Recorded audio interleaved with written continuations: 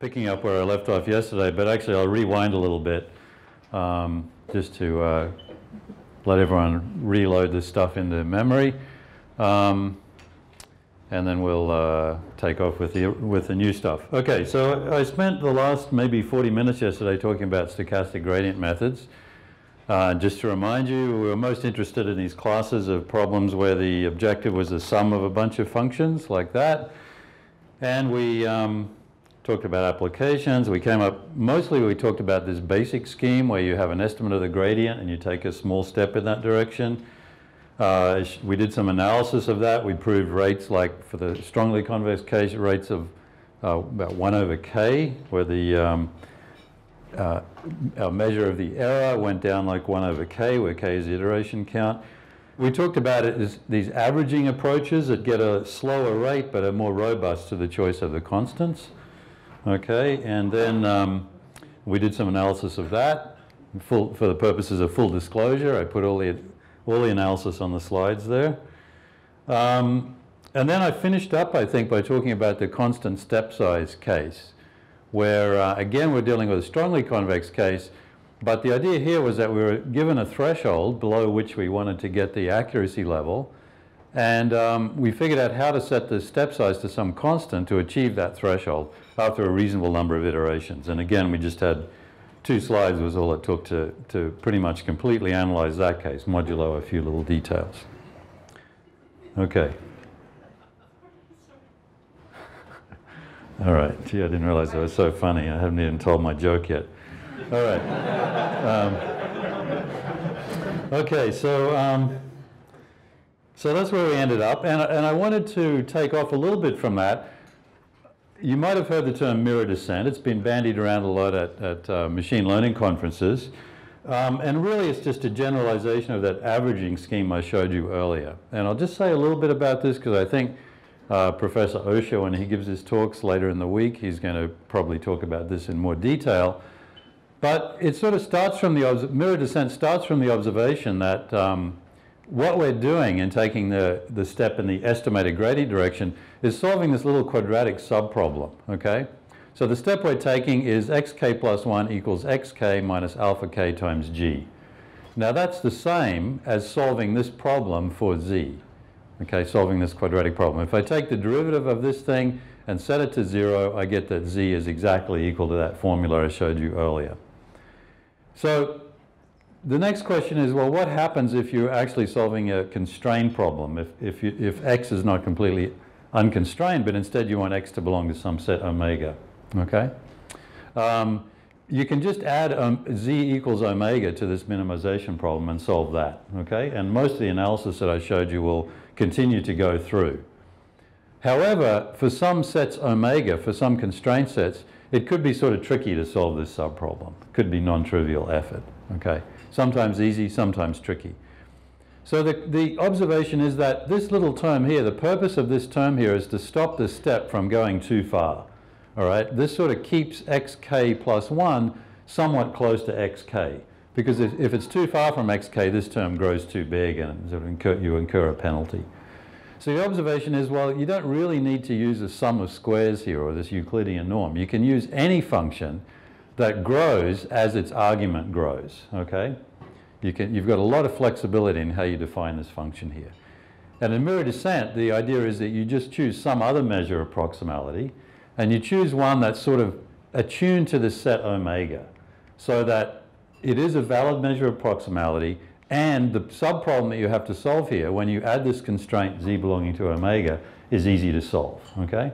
They're the two ideas behind, uh, behind mirror descent. And I've got some details here of how you construct these prox functions, these alternatives to the, to the 2 norm. So this is the, just the problem I showed you on the previous slide, but I've added this restriction z belonging to omega, and I've generalized the prox term to some other function v. And v grows as z moves away from xk. All right. So how do we construct this function v? Well, we take the set omega, it's specialized to the set omega, and I define some norm on that set, may not be the Euclidean norm. There's a lot of generality here, but it has to satisfy the axioms for, for a norm. And then I choose this function little omega, to be uh, to satisfy a strong convexity condition over the set omega. So in other words, if I have any two uh, vectors x and z in the set big omega, little omega has to satisfy this, this strong convexity condition. So this is like the strong convexity condition that I showed you yesterday with little mu equals 1. Remember we talked about little mu being the modulus of strong convexity. Well, this is exactly that definition in a little bit slightly modified form with mu set equal to 1. So given that we've defined omega in that way, we can now define v to be basically the deviation of omega from linearity, okay? So that v of x and z is given by this formula based on the definition of little omega. And a, a picture will help here indicate what's going on. So little omega, it has to be a convex, strongly convex function. Here it is here. And v of x and z is basically what you get by taking a tangent to the graph of little omega at the point x, and then seeing, by the time you get to, to z, seeing how different it is between omega and the tangent approximation. That gives you v of x and z. And you can see that the further you move away from x, the more that v is going to grow, okay, in either direction. So it's a valid measure of proximality. All right. So the idea is that you just substitute that v into the subproblem. And as I said, for some um, definitions of omega and for some choices of little omega, uh, the su resulting subproblem is relatively easy to solve. Now, there's one special case of this um, that's uh, maybe the only really convincing uh, argument for doing this generalization, and that is where omega is the simplex. Omega is the set of vectors in Rn that are all positive and they sum up to 1. So it could be, for example, a probability vector over n different events, okay? And that's quite common in, in a lot of applications of, of these methods. Now, for this particular simplex, this omega here, the entropy function, omega, happens to have that strong convexity property for this simplex, okay? And therefore we can construct from that the v of x and z, which is this function here, just following the definition on the uh, two slides back. And then you can plug this into the subproblem for the prox term, and that gives you something that um, is relatively easy to minimize over the simplex, all right? Now the advantage of uh, doing this is first of all it's sort of more, it's practical and secondly you can generalize most of those convergence results that I showed you for that averaged method to this um, more general setting. And as I said, Osher will probably talk more about that. So I have a couple more um, methods of stochastic gradient type uh, but I don't think I want to talk about these too much. I've got a, a, few too many slides, so in places I'll just skip over some topics and leave you to go and look at them and ask me questions if you have. In other places I've got some more or less complete proofs like I was showing you yesterday, but we may not have time to really go into the gory details. And again, I'll let you um, uh, peruse those at your leisure. So this is one topic I just want to mention. Um, again, it's for the case where you've got this uh, separable or partially separable sort of objective. Um, and I just wanted to note, I told you yesterday about the heavy ball method. The heavy ball method was where we took a little step in the direction of the negative gradient, but we also added this momentum term, okay, that sort of kept heading in the direction that we just moved. And conjugate gradient did much the same sort of thing. So now uh, the observation here on these incremental type methods is let's take the gradient of f, which we can no longer evaluate economically, and let's just replace it by some sampled gradient. So in other words, we do what we do in stochastic gradient, which is to pick one of these terms from this sum at random and use its gradient as the, um, as the approximation of the gradient of f. I should have added a scaling term here. I should have scaled by m, but anyway. Um, Okay, so we take steps of that form. So it's the heavy ball, but with a sample gradient approximation. So Bertsekas does this, and he's, he and his co-authors have been investigating these methods going back some years. So that's one approach. Another approach is where you uh, do something like the dual averaging that I told you about yesterday, where you don't just use the latest gradient estimate, but you average over all the gradient estimates you've seen so far. All right, and use that as the search direction instead of just the latest gradient. So that's another possible approach, okay? And both of these have been analyzed and there are some sample results on for methods of that kind, okay, which I won't discuss, but I'll, I'll let you look at those. All right. So as I mentioned yesterday, there was a lot of work happening in the machine learning community on these stochastic gradient type methods for a long time independently of what was happening in the math community. And people in machine learning even came up with, they came up with codes, they came up with analysis, they came up with methods that were very effective in, uh, for certain kinds of problems. Uh, there's a code by Bottou that's now quite old, um, but very uh, straightforward. I mean, all of these things are very simple to program. There's another code by, called Pegasos by uh, Nati Srebro and uh, Shai Shalev Shwartz that's now also, also about five years old. Uh, there's a bit more detail on stochastic optimization in this tutorial from ICML two years ago that uh, is pretty easy to track down on the web. And I just wanted to mention very quickly that there's a connection between this stuff and the online uh, pro convex programming approach of Zinkevich, which is now about 10 years old. The setting here is different. In, in Zinkevich's approach, you don't, again, you assume sort of a partial separability thing, but you don't assume that you're able to sample randomly from the, um, from the list of functions. Instead, you're being presented with functions one at a time and you have to make a decision about how to adjust xk um, so as to sort of um, uh, do a good job of minimizing over the, the set of functions that you've seen so far, all right? So there's not necessarily randomness going on, although there can be. In fact, it could be an adversarial thing going on where the, the, the person that's presenting with the functions could be sort of trying to pick the functions to confuse you to the maximal extent, all right? So, but, but some of the results and some of the analysis and, and some of the approach in terms of step lengths and so on definitely has relationships to SGD. But I won't dig into that. All right, so now I want to say something about how you might implement stochastic gradient in parallel. Now, as it's written, uh, again, I'm going to go back to the basic stochastic gradient method where you just estimate, uh, you come up with a, a, gradient estimate and you take a small step in that direction. Now, as it's written, of course, it looks completely serial, right? You have to know xk, you have to make your estimate of g, and then step to xk plus 1. So it looks very serial. So, uh, you know, is there any way we could uh, conceivably parallelize it in a credible way? And people have been looking at that in recent years, and there, there have been a few uh, things proposed. I'll talk particularly about the last one because that was the one I was uh, involved with. But one approach is dual averaging. So again, the idea here is that you don't just use a, single gradient, maybe at a single data point, as your search direction, but you evaluate a bunch of them, um, and possibly on different cores, okay? You might have a multi-core architecture, and each core could be evaluating one or a small batch of um, gradient estimates.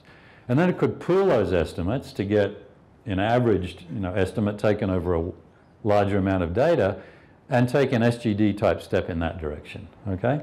So these authors have looked at methods like that. They sort of um, set up uh, a message passing uh, structure between the different cores and possibly not even, um, possibly even within a cluster rather than a single uh, chip.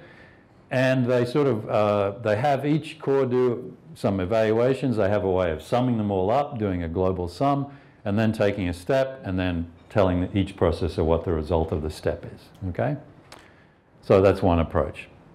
Another one is a round robin type approach, and this again dates back a couple of years.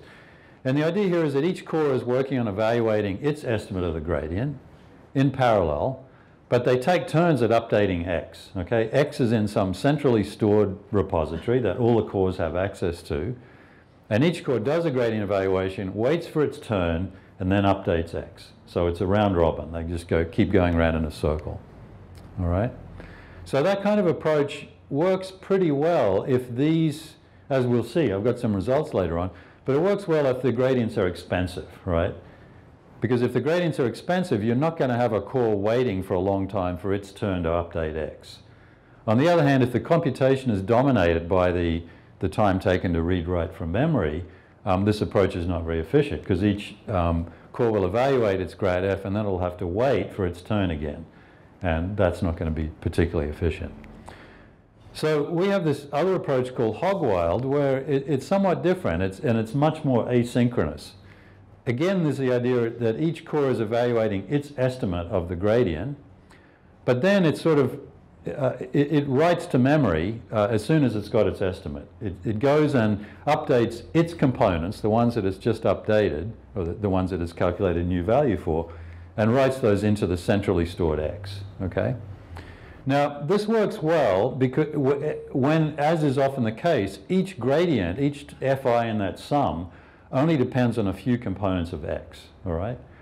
Because it only needs to read a few components of x in order to evaluate its gradient, and then it only needs to write to those same components, all right? So very often, this is exactly the sort of problem you're dealing with. You've got a very large number of terms in the sum, but each term only calls on a few elements of x. Now, they do this completely randomly. So core 1 might update its components, and then, uh, and then core 2, by the time um, core 2 gets to write its components, it's going to be overriding the changes that core 1 just made. All right, so you can get this sort of clash going on because of the asynchronicity of how this is working. Um, but because each update is relatively sparse, um, they're not going to interfere with each other too much. That's the idea. So you will get some overriding of information, but because the overlap between the different vectors is relatively small, different subvectors, there's not too much of a clash going on. So let me be a little more specific about how this works. Very, very simple. I mean, pretty much the whole algorithm is summarized here, although I've changed the notation a little bit. So first of all, we just take a single term from this sum, from the sum, f of x is the sum from i equals 1 up to m of fi of x, you just pick a single i, okay? Sorry, I've changed the notation on you. You read the current state of x. So this is what each core is doing. It reads the current state of x. It usually doesn't have to grab the whole of x. It just has to grab the subvector that its particular um, piece of the function uh, needs to know, okay? Then it evaluates its piece of the gradient, or the gradient of its piece of the function, and then it goes and updates those elements of x. So it does this as a single operation. It grabs xv and updates it. And you can do this in a single, you know, assembly language operation. Okay?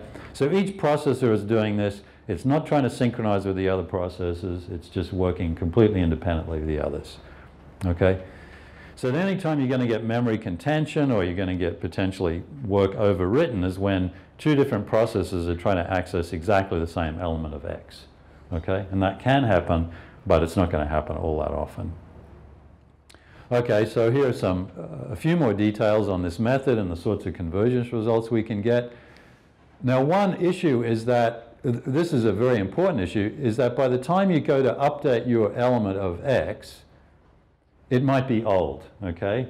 It might have already been updated by other processes. And so the gradient that you're applying to into x was a gradient based on a value of x that was somewhat old, okay? It's not the most recent up-to-date value of x because other processes might have been updating it in the meantime. So we've got this delay going on. And in the, analysis, we assume that the delay isn't too bad, okay? We assume there's a value tau, it might be 10, it might be, a, you know, 50 or something, that says how many iterations old your value of x can be by the time you get to write you get to uh, update it, all right? So we assume that's not infinitely long. So in other words, you know, if some processor gets hung up and takes too long to come back with its uh, update, we just throw that update away, okay? Because you can easily check how old it is. You can just have a, a counter somewhere that, that tells you if the update is too old. Uh, all right. Um, there's some other little details that I, uh, that I, I, should tell you here, and that is that um, we actually have two versions of this method. One version doesn't exactly do this. It just picks a single component of E, E being the uh, subvector that uh, this processor is trying to update. It just picks one of those components at random and just updates a single element of X. So that's one thing that we analyze. And the other one assumes that you can update all the elements that this component is modified in a unitary fashion, all right? That you get a temporary lock on part of the vector X and you update those. That's just a little, um, a little detail to make the analysis tractable, but in practice it's not very important. Okay, so we have a paper on this last year, but we recently were visited by Peter Richtárik, who's a researcher from University of Edinburgh. Uh, he visited us a couple of weeks ago and showed us that the analysis that we had in, that, in our paper could be simplified quite substantially, and the results could actually be strengthened a little bit. Um, and the approach that he took is very much like that short step, uh, constant step approach that I told you about yesterday for SGD. It, the sorts of results that he got are really sort of generalizations of that, okay? And let me just sketch what they are. Well, you need a bunch of different quantities here. You need to know that L, which is sort of the upper bound on the um, eigenvalues of the Hessian, or alternatively you can think of it as a Lipschitz constant on the gradient. You need the constant of uh, convexity, the modulus of convexity mu. It tells you how strongly convex the function is. You need m, which as you recall from yesterday, that's the bound on the size of each gradient estimate you're, that you're getting. D naught is a measure of um, basically how far you are from the solution, okay? I haven't defined that precisely, but, uh, but it's just how far away you start. And you need a couple more measures in order to analyze Hogwild. You need to know how much potentially, how much overlap do you have between different subvectors that are touched by different elements in the sum, F, the sum of FIs. Okay, so we have this measure rho of E. And essentially it tells you for a given um, uh, function, a given single function fi, how many other functions does its subvector overlap with? Okay, so this can be anywhere between one or between zero and m, or I guess one and m because it obviously overlaps with itself. Okay, so it can be anywhere between one and m. m here is equal to the size of e. Okay, sorry about changing the notation, but m is the number of terms in the sum is equal to the size of e. All right. And then there's this quantity rho, which basically tells you the fraction of other edges or other um, terms in the sum each term overlaps with, the average amount that each term overlaps with, with other terms in the sum. So rho basically is a measure of how much interconnectivity there is between different subvectors in different terms of the sum. If rho is small, then the terms in the sum are almost independent of each other, and so there's not much harm to be done by by updating them in parallel. If rho is close to 1, that's indicating that, that each term fi in the sum is touching um, almost all of the vector x and is sort of interfering with almost all of the other terms. And so we get sort of slower convergence because of that. So I'm just going to cut to the chase and show you the final results here. Again, our measure of optimality is the error in f. Okay, how far is f from the final optimal value? And we want that in expectation to be below some threshold epsilon. Okay, that's what we're aiming for. And this is what this is how we need to choose alpha, constant step size scheme, um, and this is how this is how many iterations we're going to need. So all I'll point out about this is that you'll see all these constants that I talked about creeping into these definitions. The modulus of convexity mu, the bound on the variance, the Lipschitz constant, the number of terms in the sum. This is a new one. This uh, didn't show up in the um, constant step size for just the straight SGD, the non-parallel SGD. And you'll also see the other things creeping in here. The tau, which is the maximum delay you can have in doing the update. The rho, which quantifies the amount of overlap between the different subvectors. You can see the longer the delay is, the shorter the step you're going to take. The bigger tau is, the smaller alpha is going to be, and the more iterations you're going to need okay? And that makes perfect sense, right? The, the, the, the older the updates, the longer it's going to take to converge. Um, you'll also see that the more overlap there is, the bigger rho is, um, the, the more iterations you're going to need, okay? So all of these things make sense. And the other things that I point out is this, these really do reduce to something that looks a lot like the constant step size analysis for straight SGD. In particular, they indicate that this is a 1 over k sort of process. To get precision epsilon, the number of iterations you need to take is inversely proportional to epsilon, except for this log term, which doesn't really matter, okay? And that's exactly what we saw yesterday for, um, for just standard SGD. So to, to double the amount of precision, to make epsilon twice as small, you have to take twice as many steps, roughly. Okay, and here are some results. Um, comparing Hog-Wild on a multi-core machine, so we had a 12-core machine, uh, only we use between 1 and 10 of the cores to actually do parallel SGD. The other two cores we use to shuffle the data, okay, to randomize the data, because often when you uh, take a data set in, a, in an um, application of SGD, um, uh, it's not presented to you in a completely random fashion. So we sort of shuffled it and then just presented it to the cores serially. Okay. So what we compared were the average gradient scheme. This is the first one I mentioned, where each processor evaluates a core and then they uh, evaluates a gradient and they average their results and then take a step in that direction. The second one was the round robin scheme, where they take turns at updating uh, X. And the third one was Hogwild, which I just described. So you can see that for th these problems, this is a support, support vector machine problem, this is a matrix completion problem, this is a graph cut problem. They all have that partially separable structure. You can see that the round robin scheme really doesn't benefit at all from having multiple cores. And that's because all of these problems were problems, were problems where the evaluation of the gradient was very cheap. And so all these processes just spent most of their time waiting for their turn of updating X. Okay? These other two schemes did somewhat better. Um, AIG was, um, uh, you know, there was some benefit from using multiple cores and speed ups for AIG of between three and five. But Hogwild uh, did considerably better. We don't, certainly don't get linear speed up. We don't get a factor of 10 speed up, but we get, uh, on these problems, five or five and a half or six um, in terms of uh, speed up over just a serial implementation. And here's some more details on um, on how we did on some bigger problems. Um, this constant delta here, I didn't tell you what delta was, and it, it did crop up in, it's another measure of how much interference there is between different terms in the sum. It did crop up in, in our original analysis, but when Richter redid the analysis a few weeks ago, he found we, we didn't need to look at delta. We only need rho. So again, big values of rho indicate lots of interference, small values indicate little interference.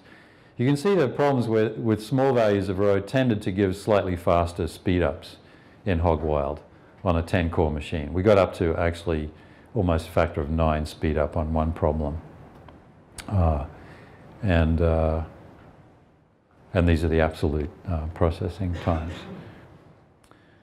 Okay, and there's much we can do to extend this kind of approach um, to make it more parallel. So this assumption that each processor can read and write to a centrally located X uh, becomes a bit problematic as the number of cores goes up and as the size of X goes up and so on.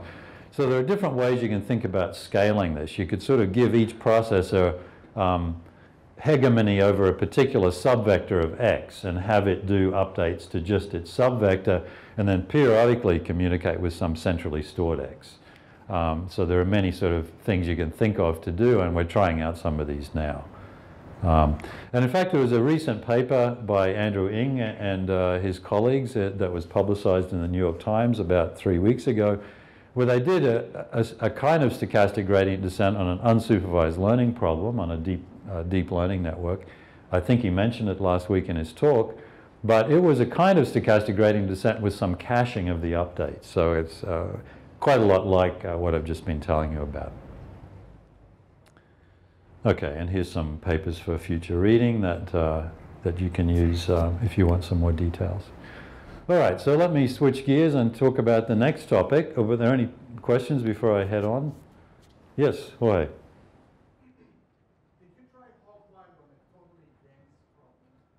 Yeah, I think we've done that. I can't give you the results, but um, the version where uh, you try to update the entire vector x after each gradient, I don't think is going to work very well. There's going to be too much memory contention.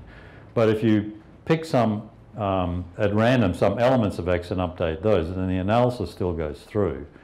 And I think that has a chance of working, but I can't tell you offhand what the results are. I think we've tried that at some time, but sometimes. But and of course, that, that question is relevant to deep learning often because the updates are quite dense usually. Any other questions? Yeah. Uh, tau, uh, is it expressed in terms of seconds in time? No, it's, a, it's expressed in terms of number of iterations. So we assume that each time a processor accesses the X to update it, that counts as one iteration. But then tau is also boundary for the number of uh, CPU that you're basically using. So for the number of processes, that's right, yeah. Yeah, so if you've got 10 processes, tau is going to have to be at least 10, right? Because uh, you're going to have to, uh, in average wait, sort of, uh, there's going to be a delay of on average 10 iterations before you get to do your update. But of course, you want to make it bigger than that uh, because uh, you might get a, a subgradient that's harder to evaluate, so it might take you longer. And by the time you're ready to update, it might be 20 or 30 iterations beyond. Okay, all right, so now I want to say something about uh, sparse and regularized optimization. And again, this is a topic that's come up quite a lot. And Arthur Szlam's talk yesterday, he talked uh, in some detail about this. And it's cropped up in, I think, a lot of the other talks last week as well. So the observation here is that you want to find an x that minimizes some function, but rather than get the exact minimum of f, you'd, you'd rather find an approximate minimum that has some sort of additional structure, okay? So the question is, how do you formulate the optimization problem so that it gives you a solution with the sort of structure that you're looking for? And here are some examples of the kind of structure. And again, Arthur told you about some of these yesterday, and I even mentioned them, some of them yesterday. So one kind of structure is that you want to get a vector x which only has a few non-zeros, mostly zero components. Um, you might want specific non-zero patterns in x. You might want sort of group sparsity where you want clusters of elements of x. Um, you, you want to allow clusters of elements of x to be non-zero but otherwise to be completely zero. Um, if you've got a, a, problem with a matrix variable, you want, to, you want to get a low rank solution. If you're dealing with an image problem from image processing, you want a, an image, you want to get out an image that looks sort of like a cartoon where you've got large areas of constant intensity or constant color with some edges in between. I'm sure Professor Osher will tell you more about that. And then there's a sort of more hazy concept of generalizability that comes from some of the early literature in machine learning where you want to choose an objective that trades off between fitting the data that you're given, empirically minimizing uh, over the, the, the, empirical data set that you're given and, uh, uh, and getting a solution that generalizes, okay? And so Vapnik talks about uh, this trade-off between data fitting and the complexity of the function that you use to fit the data. You want to keep the complexity as low as possible, okay? So one way to achieve this goal of finding a structured solution is to modify the objective by adding on some regularization term, where you choose this function psi to induce the kind of structure that you're looking for, okay? So the challenge is how do you pick psi to match up with these different goals? And that's a significant challenge, is, is exactly how you design psi to, um, to achieve the, this, uh, the, the different kinds of structure that you're looking for. The other thing here is this parameter tau. So tau here is just a scalar, and generally the bigger you make tau, the more emphasis you place on, on getting a structured solution. And so, for example, if you're dealing with an L1 norm, if psi is an L1 norm, which tends to induce sparsity in the solution, the bigger you make tau, the sparser the solution is going to be in general, okay? Because you're placing more emphasis on, on, uh, on reducing the number of non-zeros in the solution. Okay, so this is a sort of, this is not the only way to get sparsity, but it's the one we'll talk most about. So I've got a whole laundry list of applications. And by the way, um, these slides, I, they didn't appear on the website when I started my talk, but they might be there by now um, because I just sent them to Roland at about 8.30. Uh, so if you check the website now, you might, you might find them. Certainly they'll be, be there before too long. Um, but um, I've got a laundry list of applications. This is one that, that Arthur told you a lot about yesterday, uh, where you've got uh, a set of equations, ax equals b, it might be maybe overdetermined, it might be underdetermined. You'd like to find an x which approximately solves ax equals b, but which is also sparse. And so you can just add an L1 norm onto that to achieve that goal. Um, there's this uh, idea of group lasso. This is often known as lasso in the literature. That comes from a, the terminology comes from a paper by Tibshirani from 1997. That idea can be extended to group lasso, where you, you group the elements of X into different groups that somehow are naturally related in the model, and you would like to turn those groups on and off as a group rather than as individual elements. And so instead of having an L1 norm, you instead have an L2 norm for each group, each subvector of elements. And you sum up that L2 norm and that gives you a regularizer, okay, which induces the kind of sparsity you're looking for. These groups can overlap, and I won't go over this slide in any detail, but life gets more complicated when you've got groups overlapping. And there are many models, in particular models associated with, with the, the, uh, the coefficients are naturally organized into a tree, as you get, for example, when you're dealing with wavelet representations of images. And there you want to sort of turn groups on and off, but the groups tend to overlap. The groups tend to be uh, parent-child pairs or subtrees of the main tree or whatever. Um, that actually, just incidentally, I'll just say that that optimization problem, when you've got overlapping groups, is somewhat harder to solve and requires uh, algorithms that are a little bit trickier than the case where the groups just se uh, separate out naturally. And Francis Bach um, has done a lot of work on that, and his team in, uh, um, at, at, INRIA.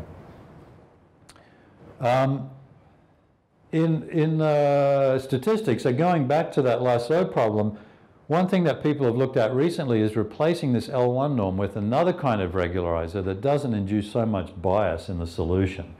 The problem with doing, with using this formulation is that um, the presence of the L1 norm tends to sort of uh, shrink the overall size of X, the X that you get from this model, okay? Uh, in other words, it distorts the solution of the least squares problem a little bit unacceptably. So it is inducing sparsity, which is what you want, but the non-zero elements are also being affected by the presence of this term. And so people have been exploring in the statistics literature alternative, optima, uh, alternative regularization terms that don't um, bring the same kind of bias to the solution. And these typically have this um, non-convex form. And two of them are called SCAD and MCP. And basically they look sort of like L1. This is what the L1 absolute value function looks like but they flatten out when the size of the xi element gets significantly big, okay? And so you don't continue to pay a price as xi increases. You just sort of pay a fixed price past a certain point. So they're able to prove things about unbiasedness of the estimate you get from that regularizer. The difficulty with this is that it gives rise to a non-convex optimization problem, okay? When you put that into the, when you add that to the least squares term, you get a non-convex problem. And as we all know, they're somewhat harder to solve. Um, compressed sensing has the same form as a lasso, but um, you're typically dealing with a problem where A has many more columns than rows, and A also has some additional very special properties, under which you can prove that the L1 norm is giving you the same solution as you, get, as you would get by using just a cardinality count, a count of the number of non-zeros. So compressed sensing is a special case of lasso where um, which is tied mostly to signal processing type applications, where you can actually prove very nice properties about the solution that you get from this. Okay, and also the A in this case tends to be dense, but it's something that you can operate with fairly easily. I won't take, say too much more about that. Arthur again mentioned that, that case again uh, yesterday. Um, other cases of, in which you want regularized solutions are support vector machines. Sometimes you're interested, if you're solving a linear SVM, you might be interested in a weight vector with relatively few non-zeros. In other words, you might want to do classification on the basis of just a small subset of the features, okay? So you can achieve that by adding uh, an L1 norm into the objective.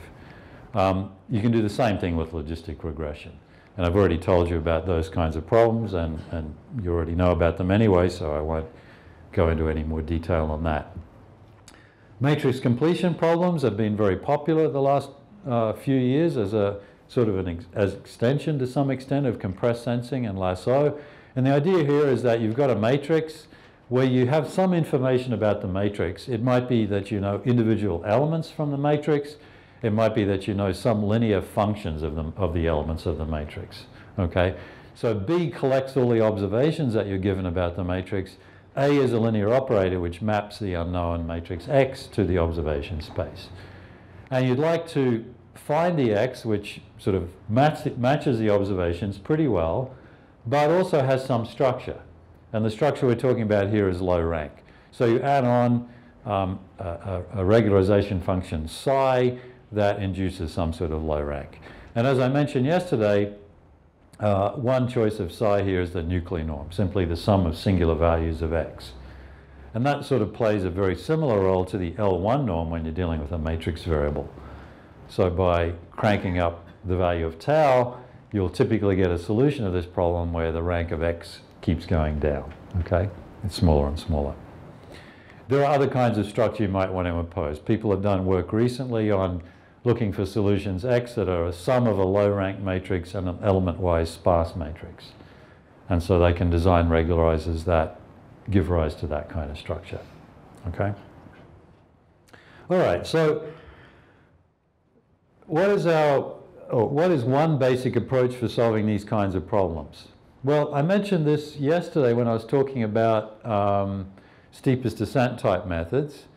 And I made the, the note that when we were just solving an unconstrained problem, one way to look at what we were doing, we were taking just step in some chosen search direction. One way to look at what we were doing was that we were actually solving a little quadratic subproblem where the chosen search direction g appeared in the linear term and the quadratic term had the step length alpha appearing in the denominator of the weight there. So ignore the psi for the moment. If you just minimize this little quadratic, the minimizer is x minus alpha times g. And that's exactly the sort of method we were talking about yesterday. So shrinking type methods just extend that by just augmenting that subproblem by adding on the regularization term explicitly. And then defining the new iter at z to be the minimizer of of this subproblem. And as I mentioned yesterday, that uh, can be, in some cases, that can be easy to compute. It can, it can be relatively easy to, to solve that subproblem. Another way to state this, it makes it look even more explicitly like the sorts of method we discussed yesterday. You can just sort of group these terms together and express this as 1 over 2 alpha times um, uh, z minus x minus alpha g, all right? So if, um, uh, again, if this term is not here, it's completely obvious that the minimizing z here is just x minus alpha g. That gives a residual of zero. Okay, so this is just an alternative way to express this problem. So this is going to be our workhorse approach for solving regularized problems where each subproblem has this form.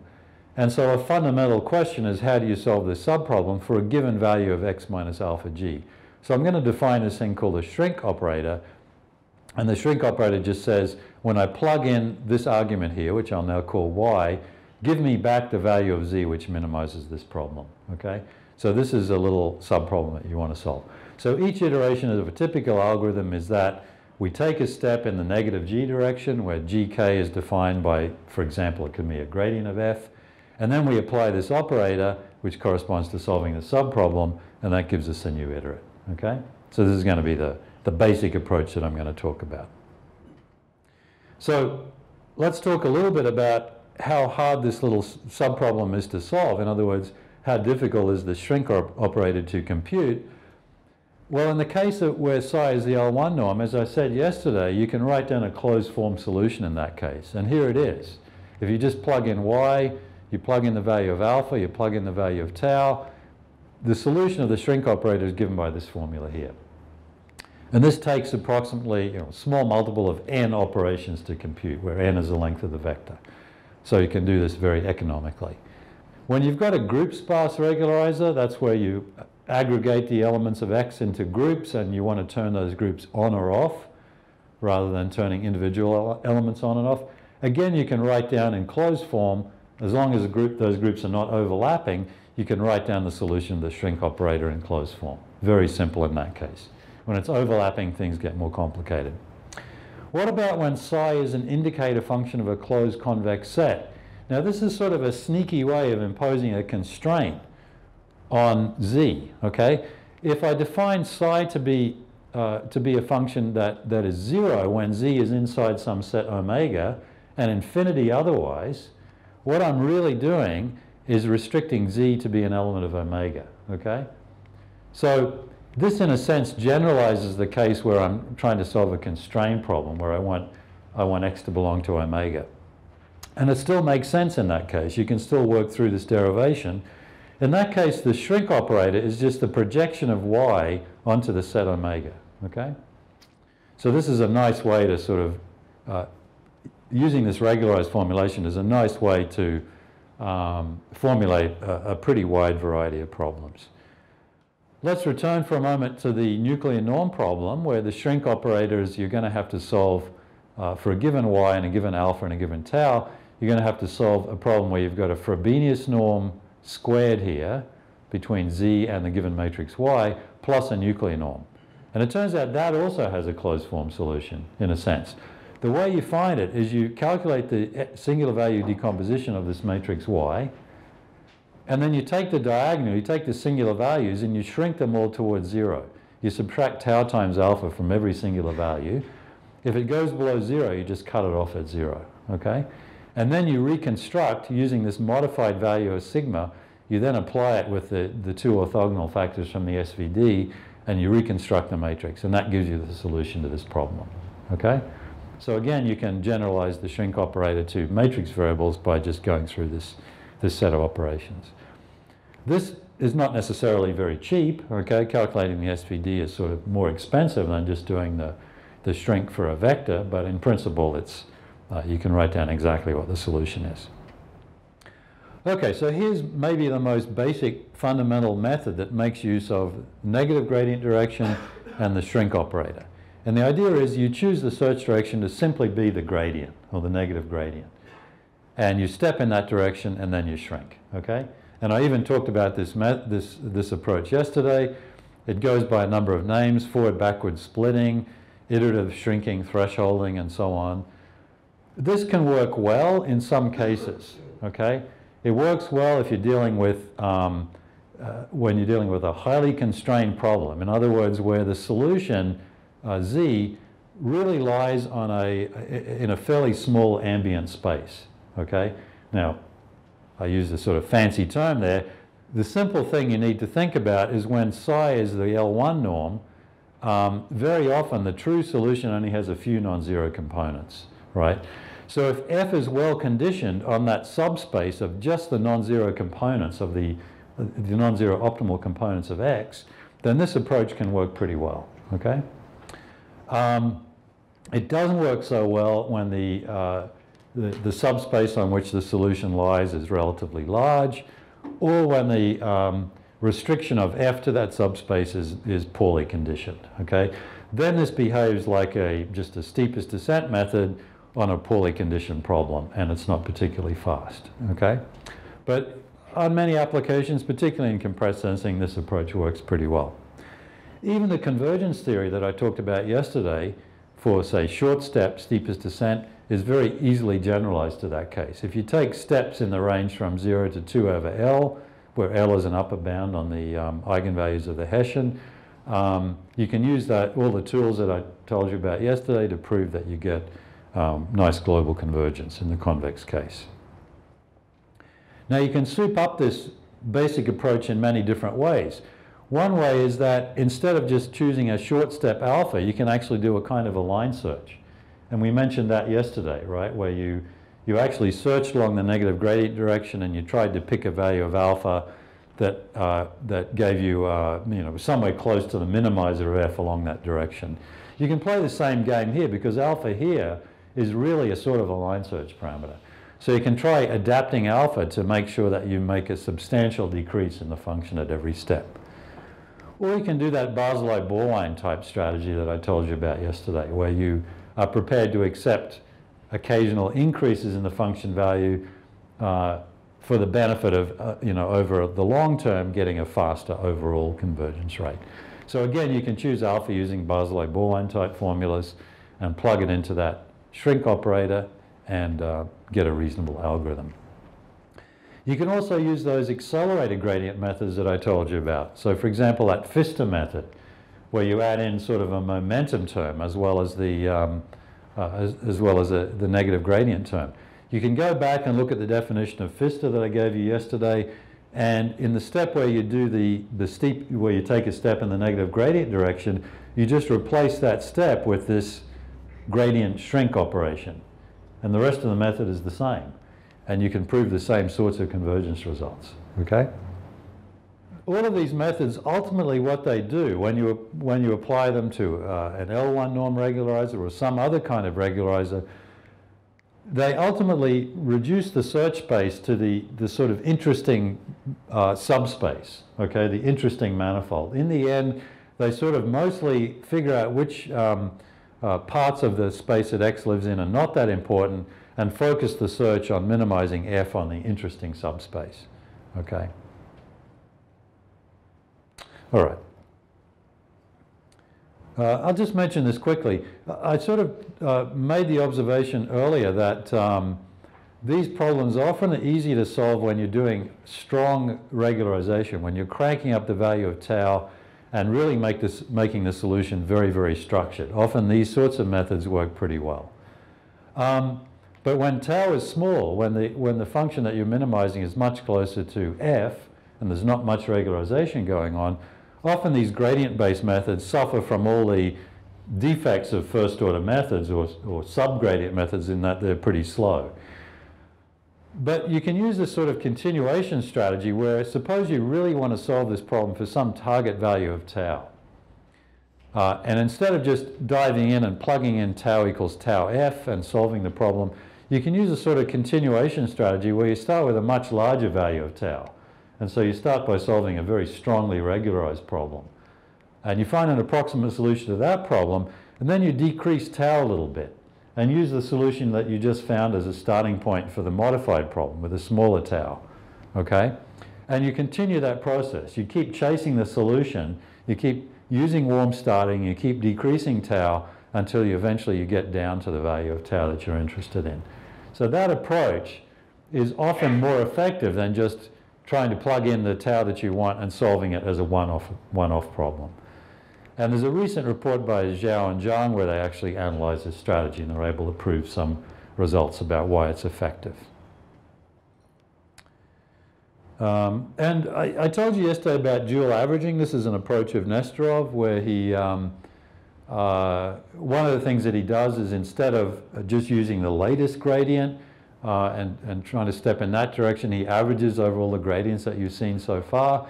You can do this, uh, I already pointed out that you can do the same thing when you've got estimates of the gradient at each iterate rather than the exact gradient. Again, you can average those estimates. And the behavior of that averaged gradient in some sense is smoother and more robust than the, average, than the behavior of individual gradients. So you can do the same thing here when you've got a regularization term. You can just use the same approach where you have the average gradient in the linear term. You have sort of a damping term here that stops you from moving too far. Now you just insert this regularization term. And the algorithm basically goes through. And in fact, there was a paper by Xiao where he sort of extended the Nesterov idea to the regularized case, okay, and proved a bunch of things about that. And you can still get this sort of order um, 1 over square root of k type convergence rate, just as you got for the um, for the, uh, uh, for the case without the regularizer. Okay, uh, there are other ways to extend stochastic gradient to regularize problems. So one of them is um, you just basically do this shrinking, but you, you just use an, a gradient estimate, an SGD gradient estimate. So this looks exactly like that Fukushima uh, Mine, you know, fundamental prox linear problem, except instead of using the grad of f here, I'm just using it, the latest estimate of the grad of f. So that was analyzed by these authors uh, in uh, a paper a few years ago. They generalized this to mirror descent, where you bring in averaging of the subgradients and you bring in a generalized prox function. Uh, in the shrink operator, they did that in uh, that algorithm is called COMID. And there are various other attempts to to bring in stochastic gradient ideas into this setting, okay? I'll just mention briefly this, this issue that I've alluded to a few times, which is that when you've got an L1 minimizer, for example, you know that at the solution, most of the components xi star are going to be zero, okay?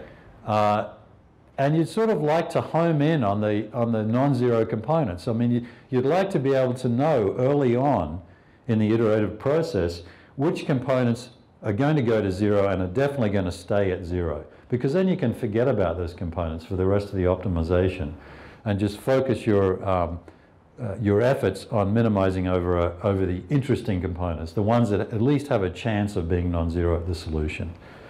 So it's an interesting question to ask is that all these different methods that we talked about do they do a reasonable job at sort of setting the uninteresting components to zero early on and progressively reducing the size of the subspace as they go?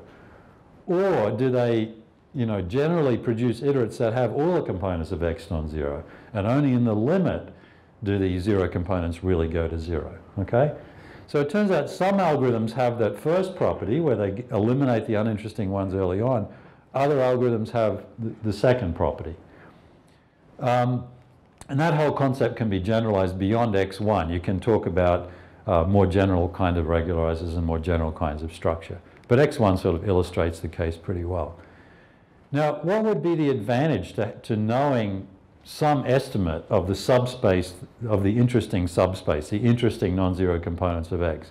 Well, one possible advantage is that if you're able to home in on a very small subspace, you might want to switch your algorithmic, strategy to something beyond a first order strategy, okay? So if your X has 10 to the 6 variables, but you're applying a first order method that tells you fairly quickly that only about 100 out of those 10 to the 6 have a chance of being non-zero at the solution, then you might want to just discard the, um, what is it, 900 and, uh, 990,000, um, 900 uh, uninteresting elements and switch to some sort of different algorithmic strategy that just searches on the 100 el uh, elements that might be non-zero. Okay? The strategy might be completely different if you're dealing with a much smaller ambient space. So identification is potentially an interesting property here. Now, what kinds of algorithms might do identification and which ones might not? It turns out that for reasons that are not too hard to understand, methods that use dual averaging and shrinking actually can do a pretty good job of identification. And the reason for that is not too hard to see. In, when, you when you've got a dual averaging algorithm, your gradient estimate is converging to the optimal gradient value, okay? And that's because as the iterates go on and on, they're basically all getting closer and closer to x star. And so your gradient estimates are being based on you know, basically on the same point. They're all being based on points that are very close to x star. And when you take the running average of those, the running average is pretty much going to converge to the optimal gradient. So in the end, each, each dual average step looks a lot like a step taken with the optimal gradient. And we know that steps taken with the optimal gradient do a good job at identifying optimal manifolds. Okay? So the stochastic, uh, the dual average case behaves a lot like uh, just gradient projection, and it tends to find the right manifold, or at least a reasonable estimate of it. Methods that do averaging of the primal iterates don't do a good job of finding the right manifold. In fact, generally, they never get, uh, none of the components of X get to zero in general until you're right at the solution. And the reason for that is easy to see as well, because if you, if you give your solution estimate as an average over all the X's that you've generated so far at every iteration, then for each iterate, um, uh, probably at least one iteration for each, for each element i of the vector x, probably at least one iteration, xk, had that value of i at some non-zero value. So it's going to contribute a non-zero value to the average, to the overall iterates that you've seen, okay? And unless you get some very lucky cancellation, it's always going to be non-zero. The average is always going to be non-zero in element i. Okay, so those methods are not going to identify. All right, so that's enough, and this is a good time to break, actually. Uh, I've got a whole laundry list of, um, of papers in that area. Okay, so time for coffee, and we'll see you again in half an hour.